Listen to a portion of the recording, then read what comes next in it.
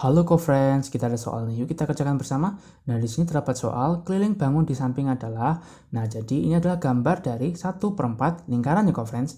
Nah, sebelum kita menghitungnya, pertama kita ketahui rumus untuk mencari keliling lingkaran ya. Jadi rumusnya adalah 2 dikali P dikali R ya. Dengan P itu ada 22 per 7 atau 3,14 ya. Nah kita memakai 22 per 7 apabila diameter atau jari-jarinya itu merupakan kelipatan 7. Seperti 7, 14, 21, dan seterusnya. Nah, apabila bukan kelipatan 7, maka kita pakai yang 3,14 ya. Nah, dan R ini adalah jari-jari ya, friends.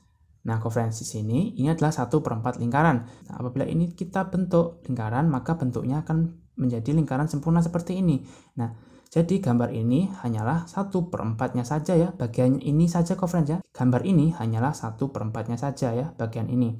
Nah, ini adalah jari-jarinya koferensi ya. Jadi dari titik pusat lingkaran ini, ini adalah jari-jarinya. Kalau diameter itu garisnya melintasi titik pusat coverage ya.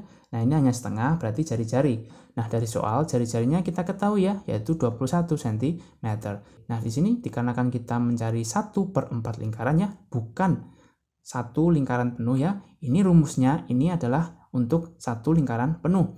Nah kita hanya menghitung 1 per 4 nya saja maka rumusnya ini akan menjadi 1 per 4. 2 dikali P dikali R ya. Dapat kalian lihat ya, terdapat dua jari-jari ya. Jadi di sini tidak hanya ada satu saja ya, tapi ada dua ya ke atas ini. Maka ini kita tambahkan seperti ini, ditambah dua dikali R ya jari-jari. Nah, jadi 1 per 4 dikali 2 dikali P-nya kita pakai 22 per 7 dikali 21 ya. Ditambah 2 dikali R. Nah, di sini terdapat perkalian dan penjumlahannya conference kita dahulukan yang perkaliannya terlebih dahulu. Nah, ini kita hitung dulu yang di dalam kurung. 1 per 4 dikali 2 itu hasilnya adalah 1 per 2 conference.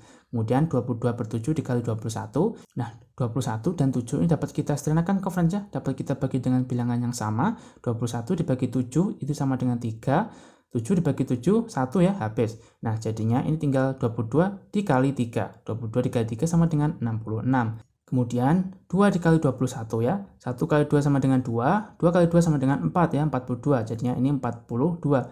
Nah ini ada perkalian dan penjumlahan. Kita dahulukan. Nah kita dahulukan yang perkaliannya ini dulu ya. Setengah 1 per 2 dikali 66. 66 dan 2 dapat kita sederhanakannya. Dapat kita bagi dengan bilangan yang sama juga. Masing-masing kita bagi 2. 66 bagi 2, 6 bagi 2 sama dengan 3, 3 kali 2 sama dengan 6, kita kurangi, 6 ini turun, 6 bagi 2 sama dengan 3, 3 dikali 2 sama dengan 6, kita kurangi, hasilnya adalah 0. Nah, jadinya 33 ya. Nah, 2 bagi 2, 1 ya, habis. 33, kemudian kita jumlahkan dengan 42.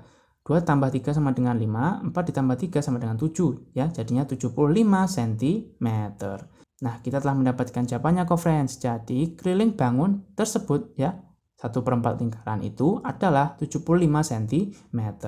Kita telah menyelesaikan soalnya. Tetap semangat belajar ya, friends. Sampai jumpa di video yang selanjutnya.